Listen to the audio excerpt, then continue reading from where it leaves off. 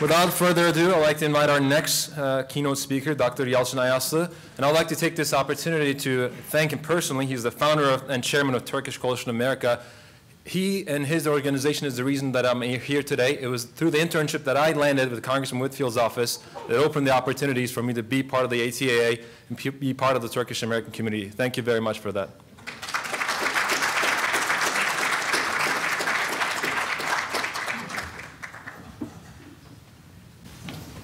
Thank you. It's my honor and uh, privilege to speak after Ambassador Şükrü Elekdağ on this 40th anniversary of ATAA, which I fondly will call ATA. My memory is not as strong as uh, young Şükrü Elekdağ, so I will follow some of my notes. In 1979, when Dr. Elekdağ arrived in Washington, D.C., as the new Turkish ambassador, he had the foresight to recognize the value of strong and vibrant Turkish American community in the nation's capital. This foresight and excitement were shared by leaders in the Turkish American community who founded ATA that year. And I salute those of you who are with us today and fondly commemorate the ones who are not with us today. That same year, my family and I came to the United States exactly 40 years ago. Looking back on those years, we are reminded of the unrest and deadly violence in Turkey between right and left-wing groups, the military coup that followed, resulting in the suspension of democracy over the uh, next two years. Within the same decade, in the US and elsewhere, deadly terror attacks claimed the lives of many Turkish diplomats, such as Mehmet Baydar and Bahadır Demir in Los Angeles, and my dear friend and abim Orhan Gündüz in Boston. Hopefully, calls for violence against, uh, hateful calls for violence against not just Turkish diplomats, but everything Turkish was voiced by anti-Turkish groups. In this climate of intimidation and outright threats, the Turkish Americans tried to strengthen their presence as they had no effective voice in the halls of Congress. Public opinion against Turkey was low, just like morale among Turkish Americans. Ambassador Elekdağ served against this bleak background, which made him recognize all the more the Turkish Americans needed to add their voice to the public discourse and gain strong public standing. He and his wife Ayla stood with the community at every turn. Ata was born under, under those circumstances and, and served our community for the last 40 years with a lot of turbulence along the way and presently. The Turkish Times, the newspaper that Ata used to publish, which symbolized to those of us outside the capital that there was a unifying national Turkish-American voice.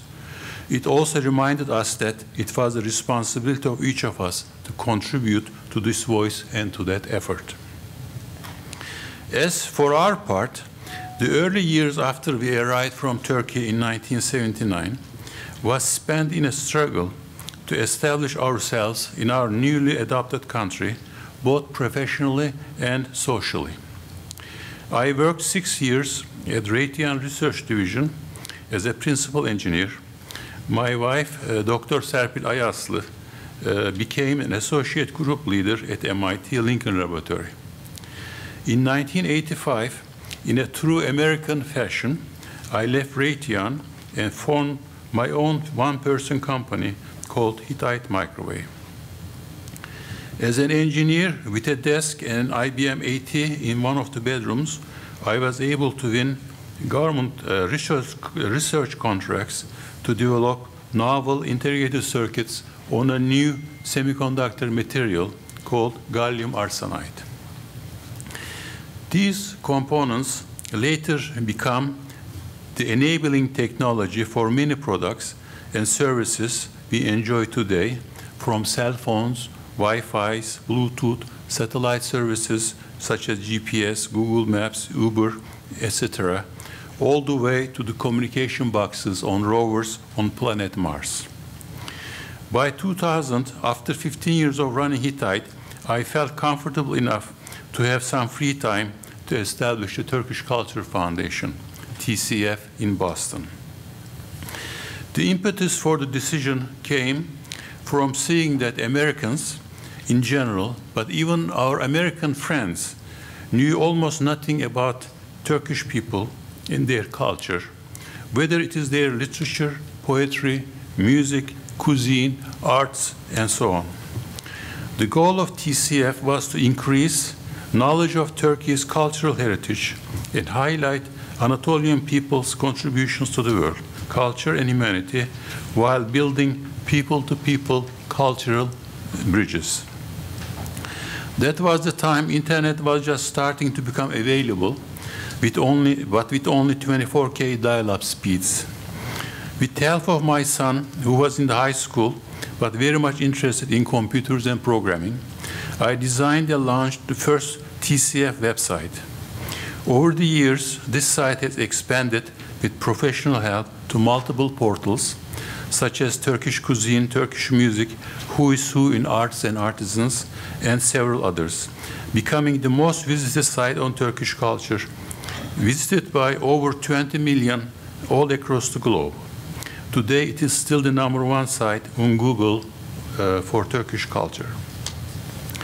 Looking back at our work in the nearly two decades at TCF, I am proud to highlight that we took over 600 American teachers to Turkey on TCF study tours, educated over 3,000 more at teacher workshops uh, on Turkey, provided over 200 fellowships to Turkish and international artists.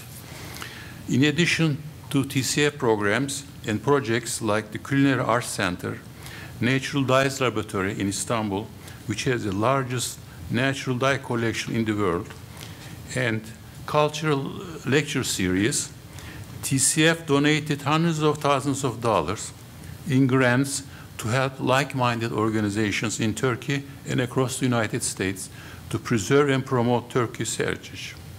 These projects we helped launch are too many to list, but for its work, TCF was admitted into official relationship with UNESCO.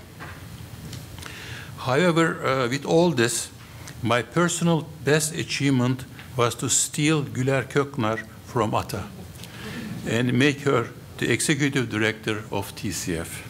For that, I am grateful to Ata. In 2007, we realized that promoting the cultural contributions of people of Turkey and Anatolian civilizations was not enough to make our voices heard at the power centers of Washington, most notably the US Congress. It is with this realization that we formed the Turkish Coalition of America, TCA, a public charitable organization whose goal is to foster friendship and cooperation between US and Turkey and promote the interests of Turkish Americans. This time, I did not steal anybody from ATA, but I did steal Lincoln McCurdy from American Turkish Council, ATC, after his long and successful career there. TCA regularly meets with members of Congress and staff to educate them about Turkish American perspectives, promote balanced dialogue on issues relating to U.S. Turkey relations, and monitor legislation that impacts Turkish American community. With our one-to-one relationship-based approach, TCA has taken over 170 members of Congress and senior staffers and 13 state attorney generals on delegations to Turkey, Bosnia, and Macedonia. We have awarded over 500 scholarships to American students of various ethnic backgrounds to spend a semester in a Turkish university.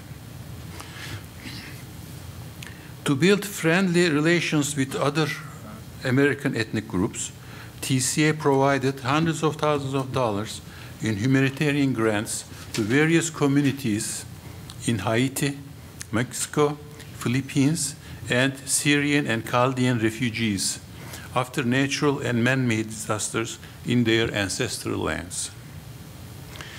To invest in the next generation of Turkish American leadership, TCA launched the Washington Summer Internship Program that allows young Turkish Americans to intern on Capitol Hill and other Washington institutions. This decade-old program has been augmented by an annual Turkish American Youth Conference. And more recently, through its Turkish American Women's Leadership Initiative, TCA has been bringing Turkish American women leaders together to form a network and encourage them to become more involved in political and civic activism. Due to these kinds of goodwill efforts and the hard work of Lincoln and all the staff members, interns, and volunteers at TCA over the years, Turkish Americans now have one of the largest ethnic friendship caucuses in U.S. Congress. Our dear friend, Representative Ed Whitfield, was a co-chair of Turkish caucus for a long time. We are grateful for his leadership and for his many positive contributions. In addition to cultural and advocacy work, my family and I proudly supported the launch of Turkish American political action committees over a decade ago. I would like to recognize Lincoln again and the many PAC supporters, some of which are in this room today, for their tireless efforts with regard to five Turkish political action committees we have across the U.S. Because of these Turkish PACs, Turkish Americans are now in the political radar. Another area TCA considered important was to change the narrative in defense of Turkey and Turkish-American relationship. From a narrow, Turkey is a NATO member, it has a strong military, so don't, don't upset Turkey kind of an argument, to a more layered and substantive narrative that includes history, facts, and being on the right side of the issues. On that subject, it's hard to overstate the contribution of Professor Justin McCarthy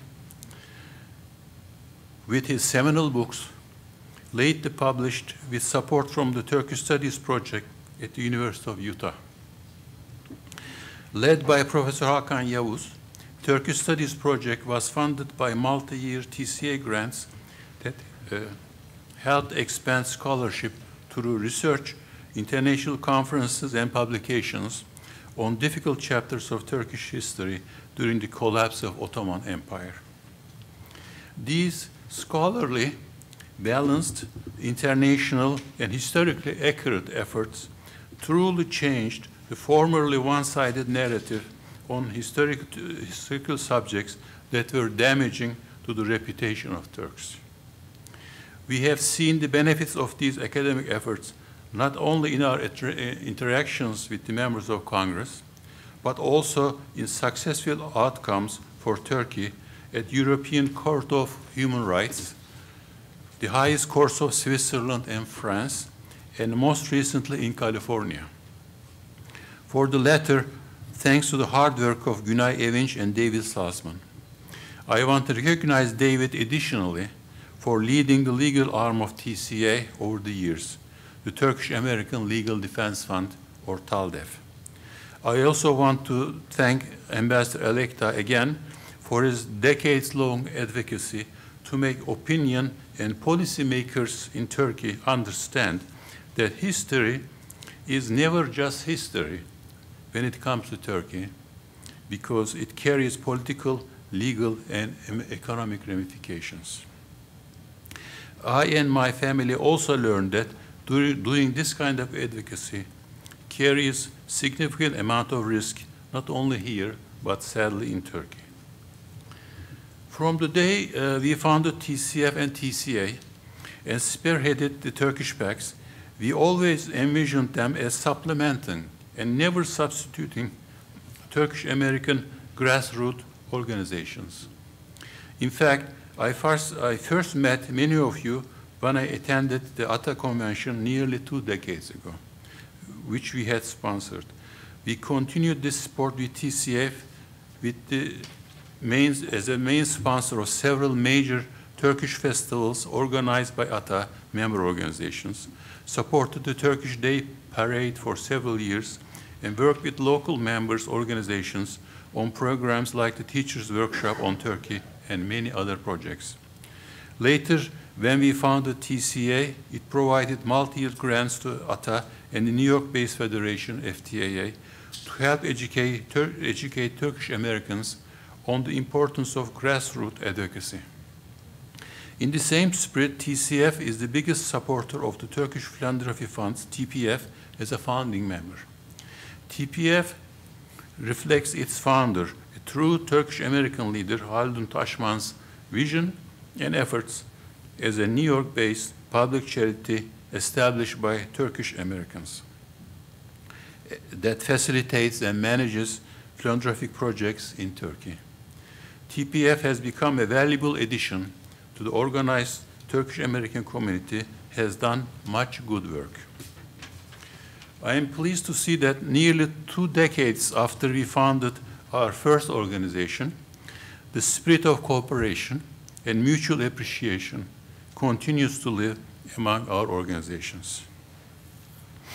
And this has been so by design, not by accident. Because our shared guiding light, our North Star, so to speak, has always been and has and will always be the principles of Mustafa Kemal Atatürk and the secular and Western-looking republic he founded on the principles of justice and equality for all under the law. Events of the past several years have proven how right we and the vast majority of Turkish Americans were in this conviction. We will never move away from this path. Turkish Americans followed events in Turkey and its international standing closely, and sometimes they are disheartened with what they see. I quite often get the question, how can you defend Turkey at this time? It's so, with, with its many problems regarding the rule of law, problems with human rights and civil liberties, and declining reputations and trustworthiness of some of its institutions. All these problems in Turkey sadden and uh, deeply affect us. But we, are, but we need to remember that we, in hundreds of thousands strong, are personal and effective ambassadors of Turkey. A, a country established by Mustafa Kemal Atatürk close to 100 years ago, a secular country with equal rights for women and looking at positive sciences as true guiding principle for its youth. We were fortunate enough to be educated in this kind of a country, and this is the model we represent and continue to defend.